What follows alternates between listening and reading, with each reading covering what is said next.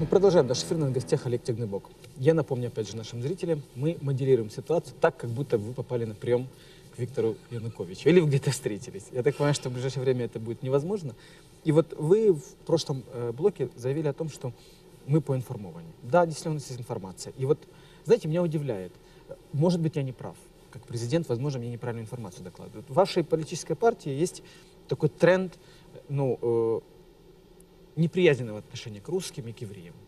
Но наши источники говорят, что вот члены нашей партии, которые пророссийская, по вашему мнению, да, там, в частности Андрей Клюев, или Борис Колесников, или Ренат Ахметов, я не знаю, говорят, вас финансировали в 2006 году. А в 2007 году говорят, опять же, что вас финансировал э, Игорь Коломойский, это э, еврей, да, по национальности, по происхождению э, олигарх. Скажите, вот как оно не вяжется как-то с вашей программой? Как так происходит? Ну, власне, може ви визначитеся? Знаєте, Вікторе Федоровичу, я вам розкажу одну таку теж історію, раз ви мене так просвітлюєте. Е, оскільки дуже багато розмов про фінансування Всеукраїнського об'єднання Свобода, які, ну, як правило, лунають спочатку зі сторони наших опонентів, використовуються певні чорні піар-технології, типу Аля Свободу фінансують інопланетяни, а потім як це все запускається в маси. Е, я, як правило, зазвичай е, розказую такий анекдот. Коли знаєте, два кума зустрілися один коло одного, і один другому каже: Слухай, вистав мені фляжку. А той каже: Та ні, не маю бажання. Ну тоді я піду під церкву і от розкажу, що три твої доньки хвойди Та куме, в мене один син. Я йду скажу, а ти потім іди по селі і оправдовуйся. І от ви ніяк не можете визначитися. Ви назвали е, чотирьох олігархів. А якщо поритися добре в інтернеті, Вікторе Федоровичу, що, до речі, говорить про некваліфікованість ваших інформаторів, то ще можна знайти список ще з двох, а то й з трьох десятків тих, хто гіпотетично нібито фінансує Всеукраїнське об'єднання Свобода. То есть вы просто можете мне сказать, что вот э, э, что меня, Олега Тягнебока, не финансировал Игорь Коломойский? Так? И что меня, Олега Тягнебока, не видели там в приемной партии регионов в 2006-2007 году. Так. Вы это можете откровенно сказать? Хорошо, а тогда скажите Ви такую що, вещь. ви що, ну ви, ви мене взагалі. е, е, з- спрашиваю. за кого ви мене вважаєте? Вот смотрите, Тобто ви лучше, чтобы я думаєте- говорил, чем Я прокуратура, зрозумів, понимаете? я зрозумів. Я прокуратура, так? Прокуратура до мене не може мати взагалі жодних претензій, оскільки я є законослухняний громадянин, і е, ніколи ніяких проблем з законом в мене не було і бути не може. Це є перший момент. Другий момент. Ну, е, ви взагалі мене за якогось дурника е, вважаєте? Недалекоглядного, нерозумного. Щоб есть, я были до такие вас, встречи, щоб то- я до точно не в вас партии регионов, приходив приймально, чи як дехто говорить, в якійсь там черзі стояв до вас. Ну, ну Вікторе Федоровичу, ви мене зовсім недооцінюєте. Хоча, ви знаєте, може добре, що ви мене недооцінюєте. Думайте далі. А Про скажіть, мене так, як ви собі думаєте. а- а какая разница? Вот объясните мне, э, как президенту. Да я политик не, не такой опытный, возможно, как вы, вот в таком подпольном движении. Ви, Вікторе Федоровичу, та ну що ви? Ваш досвід є, скажімо так, різних е, підпільних, е, е, кримінальних, е, таємних штучок-дрючок. Він є набагато більший, ніж мій. Я навіть не смію конкурувати з вами. А вот скажите, м, в принципе, как вы считаете, как э, лидер политической силы, должна ли политическая партия смотреть, от кого она берет деньги? Ведь какая разница? Ведь глав- главное же принципы и цели. Погоджуюся з вами. Так мусить бути. Ем, Але я вас, Вікторе Федоровичу, якщо вас це дуже цікавить, е, очевидно, як теж лідера недавно політичної сили, і також ви напевно думали про фінансування вашої політичної організації. Я би хотів вам е, нагадати про нашу українську історію, яку ви не дуже долюбляєте. Я так бачу, що вам не до вподоби е, організація українських націоналістів, Українська повстанська армія, Бандера, Шухевич, Коновалець. Так от, е, Конувалець, який починав свою діяльність е, вже як публічна людина, як реально лідер українського національного руху, і якби не його смерть е, від руки ну, ваших друзів, е, НКВДистів в 39-му році, в 38-му році в Роттердамі, то е, напевно Конувалець, е, скажімо, відіграв би е, ще більш визначну роль в українській історії, і Україна, можливо, була би зовсім на іншому рівні, іншому шляхові. Так ось тоді, коли Коновалець почав навколо гуртувати себе усі націоналістичні політичні сили, національно зорієнтовані, тоді також в різних європейських е, засобах масової інформації е, почали описувати, звідки ж гроші бере Коновалець. Одні казали, Коновальця фінансують поляки. Інші казали, Коновалець гроші отримує з Москви. Треті казали, Коновалець гроші з Берліну отримує. Але насправді він вів свою лінію, він вів свою позицію. І е, він виконував ті завдання, які стояли перед ним. Це є побудова великої соборної національної української держави.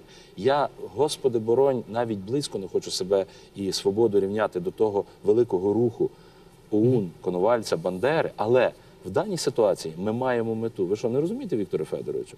Ми є ідейними.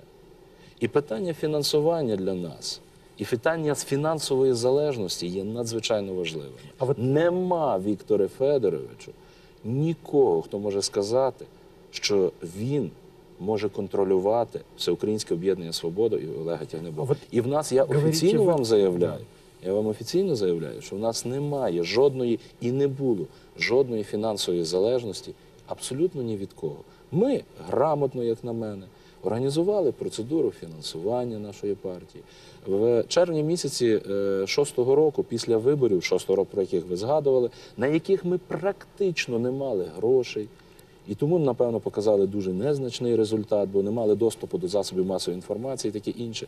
Ми створили так звану економічну раду. Це є такий собі клуб за інтересами підприємців, представників дрібного і середнього бізнесу, які є або членами нашої партії, або є їхніми симпатиками.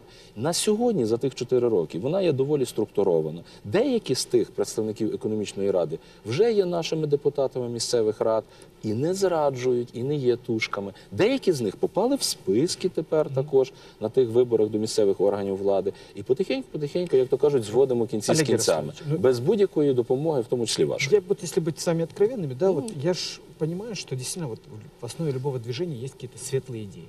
Так. И мне многие очень идеи, которые вот э, там про рыцарскую честность, да, про такую правдивость э, украинских националистов, очень нравится, очень близка. Но опять, вот вы меня обвинили в том, что я узурпирую власть, что я э, контролирую СМИ и так далее. Я вот поднял, почитал вашего идеолога, одного из идеологов ОУН-УПА, это Дмитрия Донцова, Так. известный вам человек. И вот знаете, что я у него прочитал? Віктор Он Федорович, своїх- ви прочитали Донцова? да. Слухайте, не смішіть мене. Ну, ну перестаньте. Ну, извините, щось так я, щось я люди сумніваюся, меняются. що ви прочитали Донцова? Люди меняются, Олег Ярославович. Все-таки я вот решил поинтересоваться, да? Все-таки враг. Ну, какой-никакой. Значит, До речі, майже ваш земляк. ви теж з Донецьку? Донцов. А, Донцов? Ну, майже. И у него, кстати, русские корни были, насколько я знаю. Частково так. И это вас не смущает? Абсолютно ні. Але в нього так само була і українська кров. Українська кров. І знаєте, е, наприклад, герой Угорщини Шандор Петойфі, якому пам'ятники стоять ну, практично в кожному селі в Угорщині або там, де живуть угорці, він так само не був стовідсотковим угорцем. Ні, так він був мене це нравиться, що ідеолог так, Він був наполовину угорець, наполовину бо він був е, словак. Але в певний період свого життя, ну так же ж, кожна людина вона сама визначає. Вона ж не може е, сказати, хто він і що. і він на якомусь певному періоді визначив, що він не є словаком, він є угорцем. І так сталося, що Шандор Петофі став героєм Угорщини. Так само ми, говорячи про Донцова, кажемо, що це є реально ідеолог українського націоналізму. І коли створювалася наша політична сила, я це так вам по секрету скажу, Вікторе Федоровичу. І коли ми формували нашу ідеологію, яку ми вважали потрібно сформувати новітньою, бо знаєте, архаїчний націоналізм це ото, що ви мене звинувачували, дивитися назад в минуле. Це неправильно. Треба дивитися вперед, в майбутнє. Тому ми вирішили формувати нашу ідеологію на основі наших ідеологів, того ж таки, на основі Донцова. Міхновського, Циборського, так? Циборського так само в деяких моментах. І беручи їх за основу, їхні погляди і їхню позицію, ми маємо цю ідеологію перенести на сучасність, 21 століття, і прилаштувати її до теперішніх умов. І тому й появилася ідеологія так званого соціального націоналізму. І тому ми говоримо про захист національних прав українців, тобто національної справедливості, але і соціальних солідарних прав українців, про які ми теж не можемо не говорити. До речі, Вікторе Федорович, саме через вас, через вашу ганебну політику узурпації влади і приниження всього українського, ми ще націоналісти почали займатися практично тим, чим ми нереально не повинні займатися. Ми тепер в теперішніх умовах через вас, Вікторе Федоровичу, відстоюємо громадянські права. Уявляєте собі? Да. Бо ми І постали в смотрите, такі самі умови, Олег як і решта ну, громадян України, і по- яким попираються громадянські Олег права. Ви знаєте, Вікторе Федорович, ви мені тут щось пропонуєте? про- про Наші свободівці, наші Да. свободівці з кабінетів слідчих не виходять. Що ви за вказівки дали їм? Я, я, считаю, замість що- того, замість того, щоб мене люди займалися ви- партійною агітацією Федоровичу, знаєте, агітували за українську державу, за українські ідеали. Я вимушений Віктор Федоровичу Ющенко, відключати юристів, щоб ходити по слідчих по судах. Я очень рад, что вам есть куда тратить деньги. Не-не-не-не-не. Когда пришел Виктор Что Ющенко, такое? мои Вы мне люди сидели в кабинетах. А у меня теперь к вам вопрос по поводу Донцова. Що тут Вот смотрите, ваші, подождите. ваші стосунки з Ющенко, ваші стосунки з Тимошенко мене не цікавлять. Я знаю, що всіх вас трьох в ідеалі. Треба би було на якийсь паромчик посадити, так, на середину Чорного моря відвести і залишити. Повірте, Ви Віктор мечтаєте, все українське суспільство було би так задоволене і так мечтаєте. вдячне тому капітанові Один, корабля. один маленький вопрос. Так що у вас в Донцові Вот я вам вспомню. Донцова, да? Мне Зацікавило. очень нравится Донцов. не вірю? Знаете почему? Он сказал одну такую фразу. И я это делаю так, как он говорил. Он говорил, что победить собственное общество, что нужно победить собственное общество. И его нужно объезжать как дикого коня прутом и шпорами. Что народ нуждается в жестком руководстве и кнуте. Это говорил тот Донцов, который перевел Майн Кампф. Что? А я тоже то и делаю.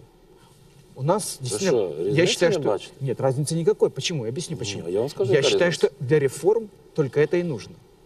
А вот, вот подождите, а вы Поясню ответите разницу, свою Виктор реплику после маленькой паузы. Добре. Оставайтесь с нами.